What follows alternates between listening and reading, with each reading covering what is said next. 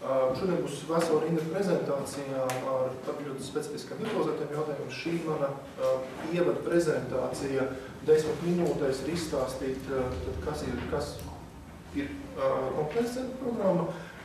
Jāpiedomājas tie, kas jau ir pazīstami šo programmu, jau mazliet garlaicīgi izstāstījuši. Es redzēju, ka ir diezgan daudz jaunu cilvēku izstāstījuši pašas, pašas pamat lietas, lai jūs vienkārši saprotat, par, par ko ir runa tagad. Mums pirmais, kompetences centra programma ir, kas ir kompetences? Kompetences ir juridiska persona, ko nodibinājuši nozares uzņēmumi. Līdz šim šādi vairāki uzņēmumi, līdz šim tās vienmēr ir bijušas sies, kuras piedara 10, 20, 30, nu, skaits nav, skaits nav noteikti, bet praksē tie katras nozares lielākie, aktīvākie uzņēmumi. Piemēram, farmācija pirms Grīndeks, no vesā Grīnde. Meža nozarē tas bija Latvijas valsts meža, Latvijas finieris un tā, un tā tālāk. Katras nozares lielākie uzņēmumi, kas sanāk kopā, saka, ok, mums ir kopīgi interesi pētniecības veikšana. Tas nosacījums ir, ka tiem obligāti ir jābūt pārsvarā uzņēmumiem, jo kompetences centra programmas mērķis ir atbalstīt uzņēmumus. Ja? Tātad, šāds te, šāda juridiskā persona tiek nodibināta un uh, viņa var saņemt finansējumu uh, 3,2 miljonus eiro vienā no astoņām lotēm, kas, uh, mēs nedosim vārdu viedās specializācijas strateģijas jomas vai apakšjomas, bet vienkārši izsakoties tā, kompetences centra pieejamais finansējums sadalīts astoņās daļās. Ja? Katrā no šīm daļām var pieteikties kompetences centrs. Tad viņš var nodibināties, piemēram, mežsaimniecības jomā, piemēram, pārtiks jomā, piemēram, farmācijas jomā, viedo materiālu jomā, inženieru jomā, elektronikā, informācija tehnoloģijas un vidēja enerģija. Tad kompetence uzņēma nodibina kompetences centru, izlēma, kurā no jomām viņi pieteiksies, iesniedz uz attiecīgo jomu projektu izsniegumu. Faktiski ir astoņi atsevišķi konkursi, katrā jomā atsevišķi tas, kāds ir vērtējums informācija tehnoloģija jomā, nekādā veidā neiespēdo to, kāds ir vērtējums, piemēram, pārtiks jomā.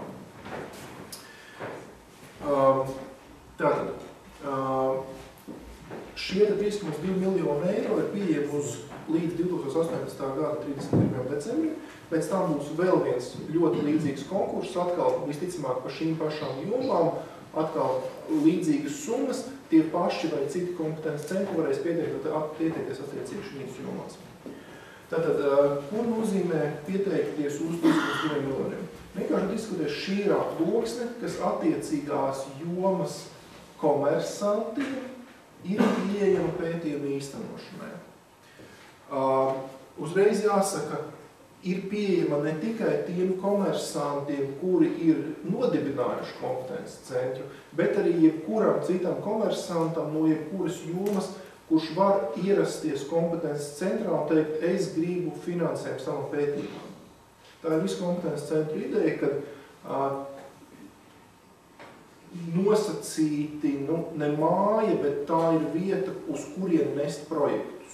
Tas ir daudz elastīgāk, ja nekā tad, ja mēs ietu savu formālu valsts administratīvo procesu, kurā jums būtu jāsniedz formāli projektu iesniegumi, būtu formāls vērtēšanas, mm, kas būtu vienkārši garāk. Mēs esam mēģinājuši to darīt, mēs esam secinājuši, ka šāda te uh, nozars iesaist ir ātrāk, elastīgāk un efektīvāk. Tad, jebkurš komersants uh, var ierasties konferences centrā un teikt, man ir projekts, kuru es gribu, lai jūs paskatīties.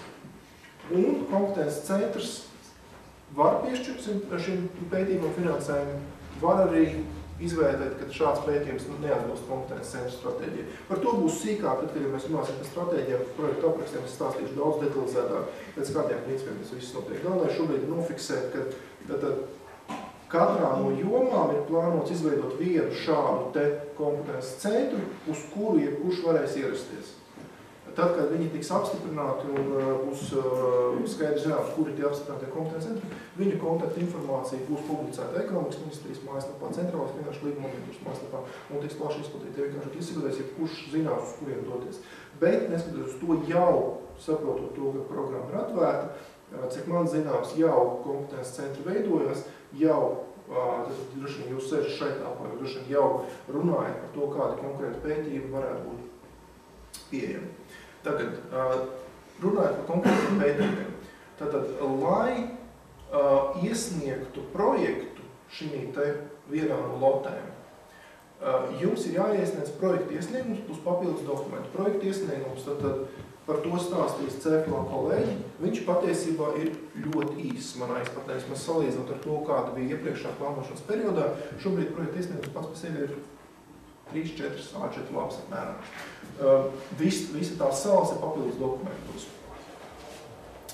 Uh, divi svarīgākie papildus dokumenti ir kompetences centra stratēģija, par ko es detaļās stāstīšu.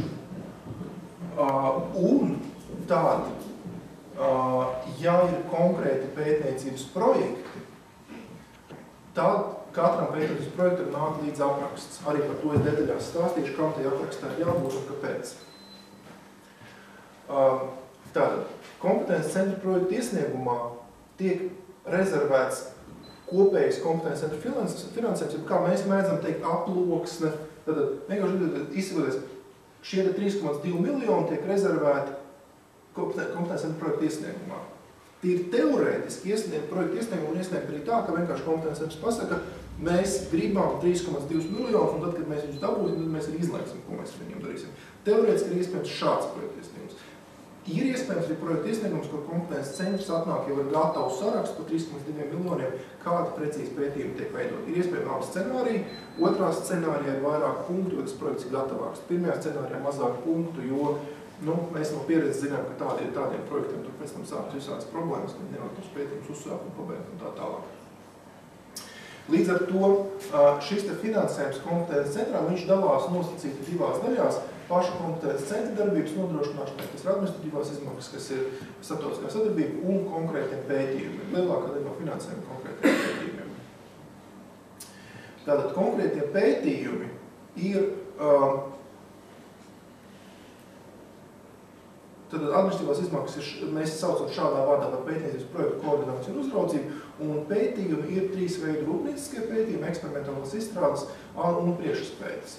Šeit jūs redzat atbalsta intensitātes, tie, kas ir strādājuši ar iepriekšējo kompetences centru programmu, šī matrica jums, domāju, ka ir labi pazīstama, tad atbalsta intensitāte ir atkarīga no vairākiem faktoriem. Pirmkārt, pētījuma veids, rūpnieciskie pētījumi ir nosacīti teorētiskāki, abstraktāki, eksperimentālās izstrādes ļoti praktiskas lietas, kad jūs paņemat, uztaisat, piemēram, kaut kādu pilotu modelīti, paraudziņu, pirmo eksemplāru, un var notestēt.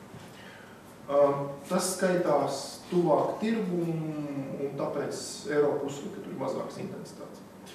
Um, tāda intensitāte var atkarīga no komersanta statusa, mazie vidējiem vai lieliem, un visbeidzot šis te plusiņš, tās ir tā sakās, bonus intensitātes, ja jūs, piemēram, pētījuma rezultāts publicējat. Piemēram, ja jūs izpētat kaut ko un ieliekat informāciju internetā, tad jūs dabūnat bonus intensitāti. Ja jūs paturat pie sevis, tad intensitāte drusku zemāk. Nu, tādas ir tās atbalsta intensitātes katram konkrētam pētījumam. No pieredzes runājot katram kompetences centram, mēs esam redzējuši, ka ir aptuveni 20 dažādi pētījumi, nu, sākot no ļoti mazām summām, no pārdesmit tūkstošiem eiro līdz, līdz pat miljoniem. Tas viss ir teorētiski iespējams.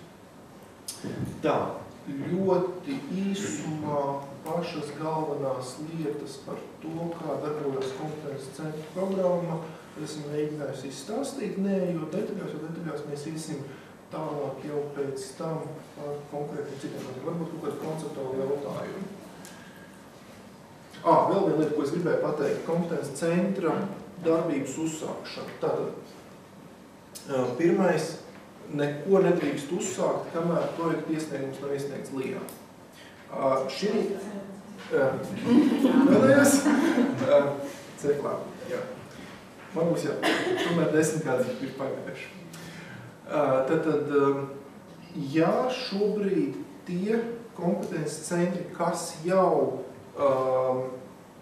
runā ar konkrētiem pētījumu īstenotājiem un jau meklē konkrētus pētījumus, tas ir ļoti labi apsveicami, bet ir tāda nianse, ka nu, tur ir valsts atbalsta nosacījumi, par kuriem es detaļās stāstīšu pēc tam. Tātad pētījumu drīkst uzsākt tikai pēc tam, kad kompetences centrs ir iesniedzis projektu CFLA.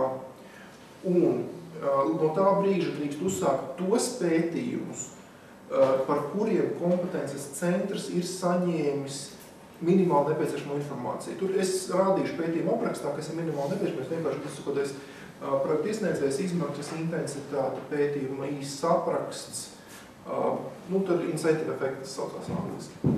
Līdz ar to tie kompetences centri, kas jau šobrīd formē pētījumu sarakstus, lūdzu reiķināties, ka tanī dienā, kad jūs iesniedzat projektu CFLA, jūs drīkstat sākt visas izmaksas, kas ir līdz brīdim, kad CFLA izvērtēs un jāapstiprinās projektu uz jūsu riska, jo, ja projektu noraidīs, tad nu, tas, ka jūs sākāt uz jūsu riska. Tie, kas uh, ir piesardzīgāki, nu var gaidīt, kamēr CFLA izvērtēs projektus un uzsāks projektu. Tad, tad tikai sāk projektu, kad ir pilnīgi skaidrs, ka tad, tad uh, projekts ir apstiprināts un finansējums ir pieejams.